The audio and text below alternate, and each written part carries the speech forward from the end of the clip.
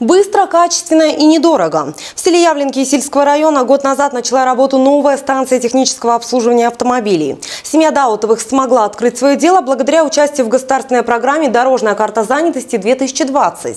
Подробнее о списке услуг, предоставляемых в СТО, расскажет Ксения Куценко. Всего полтора года назад здесь не было ни намека на СТО, а сегодня в большом удобном боксе есть необходимое оборудование для устранения поломок в автомобилях. Открыли станцию технического обслуживания Шатан и Сапаргали Даутовы. Разбирал двигатели, изучал устройство машин Даутов-младший с детства. Увлечение теперь приносит неплохую прибыль. Создать свое дело без поддержки государства не было бы возможно, говорит молодой предприниматель. Взяли кредит по дорожной карте 2020 под 6% годовых. Ну, как бы удобно. Выплачиваем уже, уже получается, да, год, да? Уже угу. там осталось как бы угу. немножечко. Много машин у нас подъезжают, ремонтируются.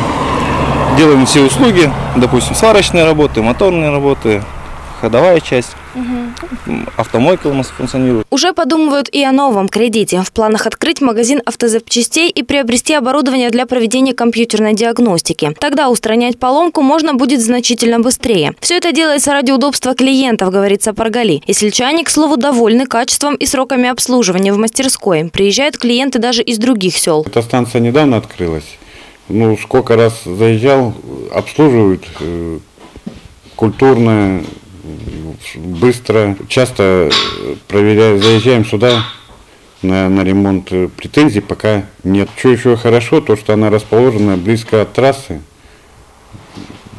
доступна очень.